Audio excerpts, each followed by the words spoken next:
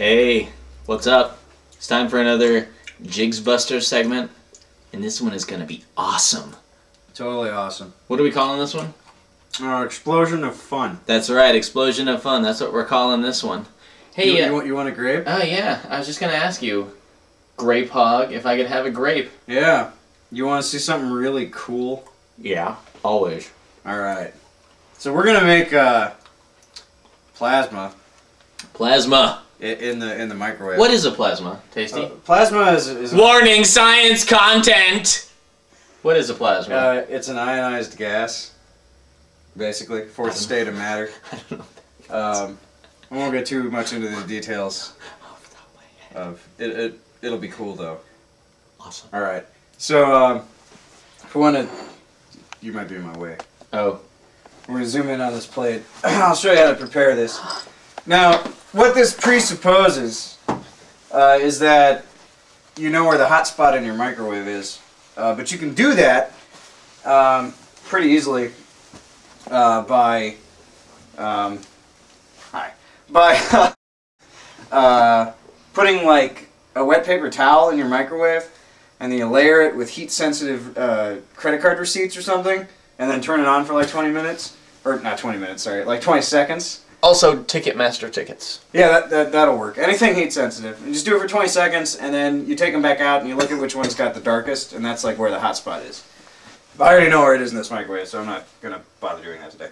but anyway, I'm going to take this grape, this guy right here, and uh, going to cut it in half.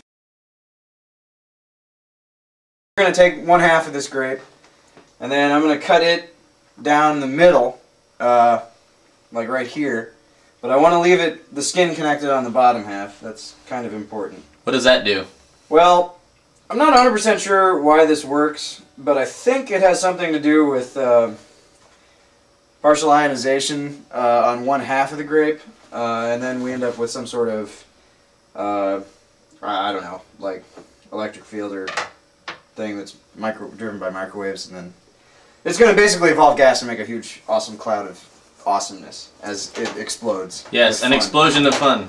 So now I got my grape, um, which I'll bring up here so it's easier to see.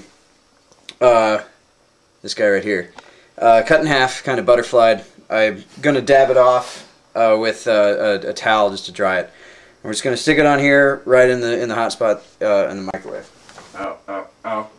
There we go.